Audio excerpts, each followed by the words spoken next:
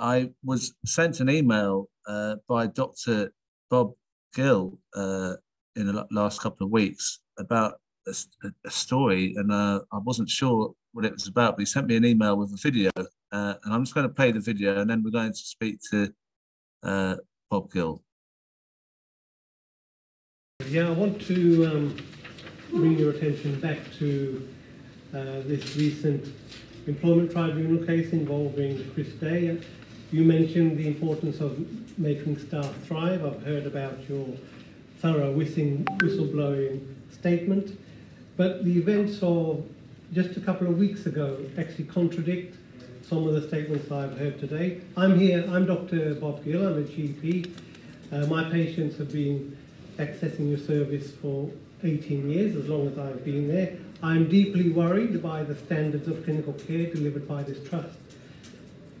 I want to address the board. So, as a person representing patients, NHS campaigners, health professionals, and members of the public, we are deeply concerned about matters arising from our observations, reporting, and court submissions relating to the June July 2022 16 day employment tribunal hearing for the claimant Dr. Chris Day and the respondent Lewisham and Greenwich Trust. Below we set out the most important issues which require your urgent attention and further action. Concealment of key evidence and contempt of court board meeting notes, October 2018. Now, this is from just a couple of weeks ago, where evidence was concealed from the tribunal. Lewisham and Greenwich Trust for four years denied the existence of a record of a board meeting that approved a settlement agreement between Dr. Day and the Trust that took place on the evening of Sunday, the 14th of October 2018. We understand that the meeting record was hidden from Dr. Day and its existence denied to journalists even a judge, which is contempt of court and a criminal offence. It appears that the board and Dr. Day were not in possession of the whole truth about each other's position when agreeing to the settlement. Uh, Bob Gill, thank you for thank you for joining us. Um, I was I was a bit confused by by the video because um, I didn't really know the background to it, but it, it, seems to me what, what's going on there is that an NHS trust is not um, happy for whistleblowers to come forward to talk about what's going wrong in practice.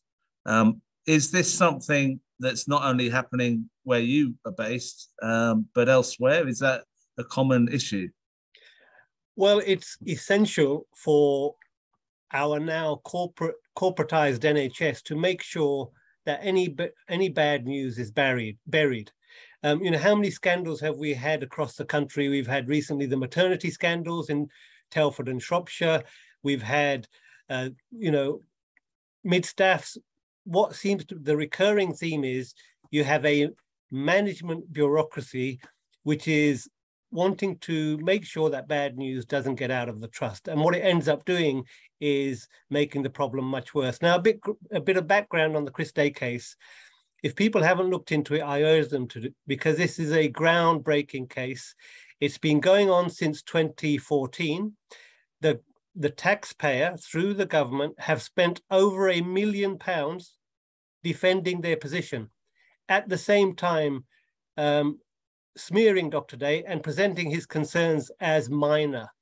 The concerns he raised were around the staffing in an intensive care unit where the where one doctor, one junior doctor was looking after twice the recommended number of patients in intensive care. They were often unsupervised. So junior doctors starting in ITU were left unsupervised. And he exposed that there were two preventable deaths, one including a untrained junior doctor without supervision poking a chest drain through somebody's liver who then exsanguinated to death. So these are very serious concerns. And for his trouble, he's actually not a true whistleblower. He raised these concerns through the internal channels. And he found that when he went to his appraisal meeting, when he reiterated his concerns, they terminated his career back in 2013, 2014. Now, since then, he's been fighting this case Junior doctors have an employment status with a training body called Health Education England and their trust 50 50. Uh, one of the respondents, one Health Education England, which pays half his wage, managed to successfully argue in court that they weren't his employer. And in doing so, they took away whistleblowing protection, weak that it is, from 54,000 junior doctors. Now, through his legal battle, Dr. Day managed to restore this weak whistleblowing protection to those doctors uh, in a victory in the High Court. So this is a massive case. Um, now, I went to the board recently because I'd been following the most recent tribunal where only the Lewisham and Greenwich Trust are now in the case. But I had just heard them paint a very rosy picture of the care they're providing, how well they look after staff, how important they consider whistleblowing. But what, in what unfolded in this most recent tribunal was they had prevented the key material medical witnesses from being cross-examined, their own employees, just in case they screwed up. The chief executive had misled the tribunal um, over many facts, and the director of communications for the trust took it upon himself to destroy 90,000 emails.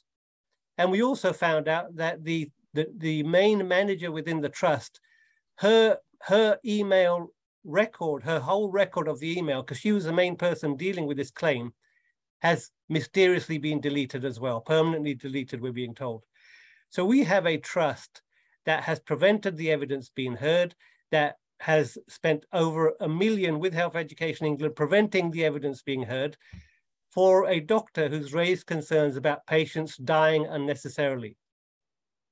Now, I'm telling you, the NHS is in a much worse state than when he raised his concerns. We had a leaked report which was estimating about a thousand people a month are dying in hospitals because they're dying in corridors, they're dying in overstretched A&E departments.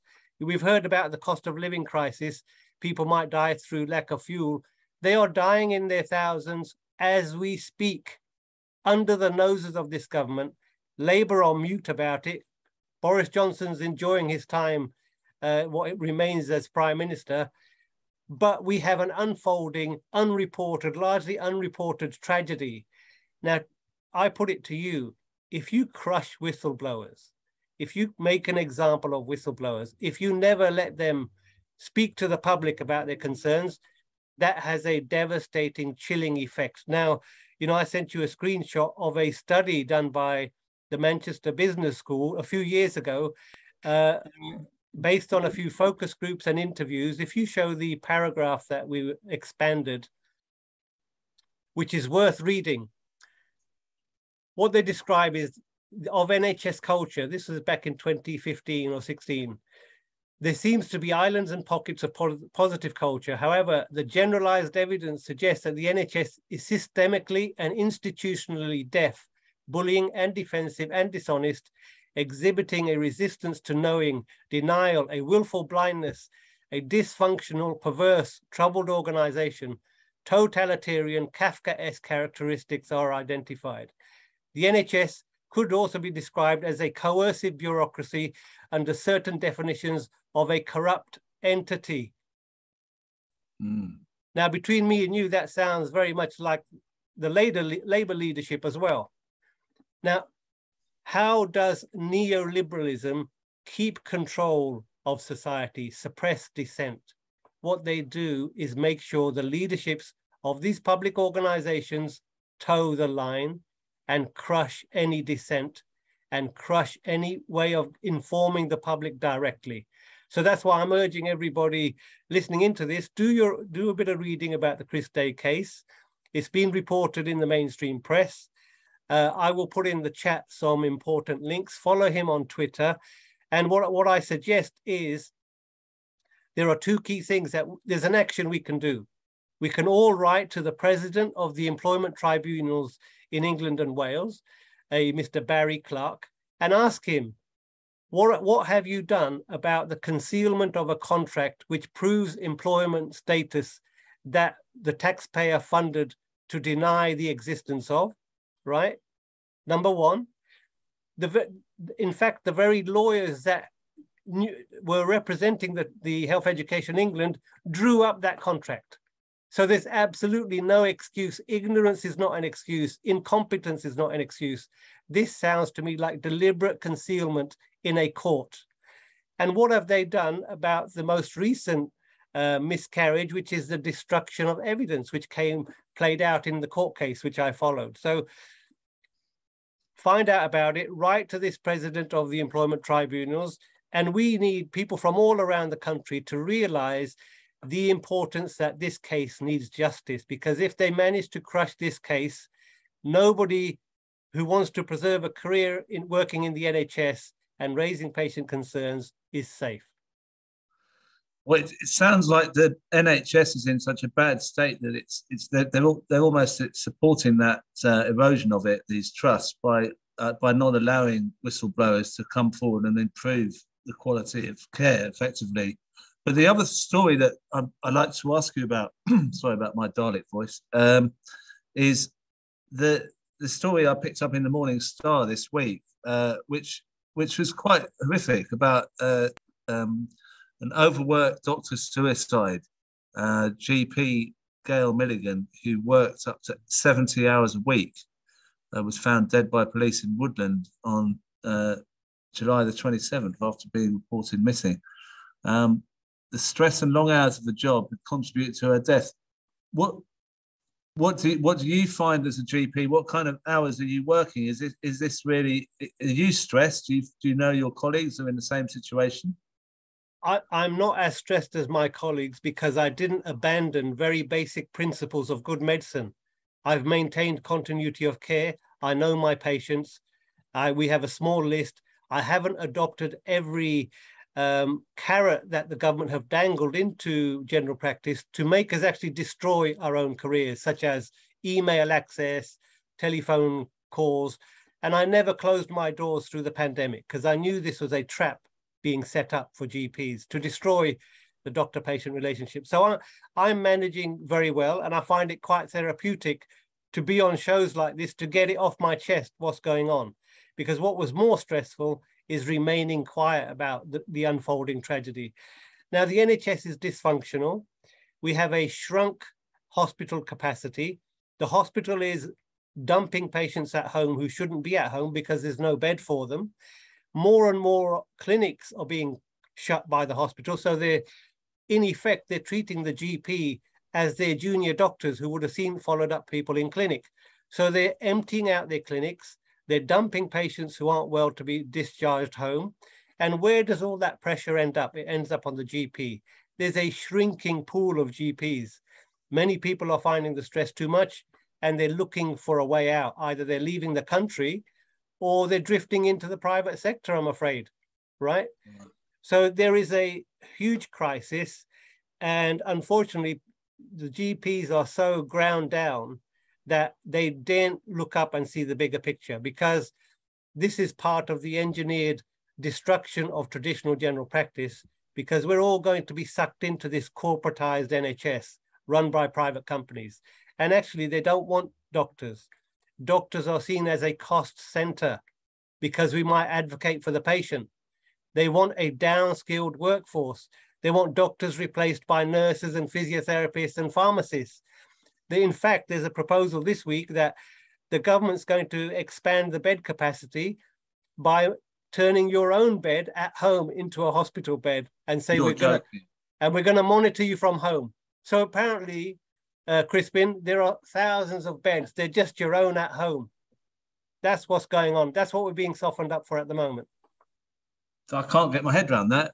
Uh, this just sounds like the, the, the situation of the energy uh, crisis. We've got no political party speaking out on this, and we rely on you to tell us the story because they're not telling us. Um, well, let, now I have to let, ask you. I have to ask you this, uh, Bob. Sorry, are you in any danger as a GP for speaking out? Uh, Crispin, I had to accept a few years ago that um, my career and livelihood was on the line. Yeah. That's what I had to accept before I spoke up. But actually, it's been liberating to speak up. There have been threats against me. I had um, the GMC suddenly deciding to in, inquire about my details, whether they were current and up to date, after I posted something that people saw was a bit suggestive and uh, implicit. I was trying to imply something about the connection between somebody within the BMA who also worked for the for NHS England, which is a blatant conflict of interest. So, so I've had uh, I've also had managers um, come up to me, try and befriend me, and then another group of managers threaten me, saying, "Do you still want to have a practice to work in?" So wow. they've thrown quite a bit at me. I'm I'm carrying on because I'm doing the right thing, and I cannot sit by and watch the care of my patients go down and down and down. I've already lived through, uh, you know, several of my patients dying prematurely because of the chaos uh, within the hospitals. And the reason I know and support Chris Day is because the trust, Lewisham and Greenwich Trust, is the main hospital for my patients as well. So I see the danger that you know the staff have to work in in a very overstretched system within that hospital. Wow. Well, uh, thank you so much for coming on again, and and and, uh, and, and we're getting lots of messages of support and solidarity for you. And uh, if they ever do come for you, you've got all us behind you, and we'll we'll raise as much money for any law legal stuff as well. Good. Or I can be I can be your co-host. Yeah, but you have to wear a hat. Is that, okay. that okay? Yeah. No problem. No problem. All right. All right. Cheers, Bob. Thanks. Thanks.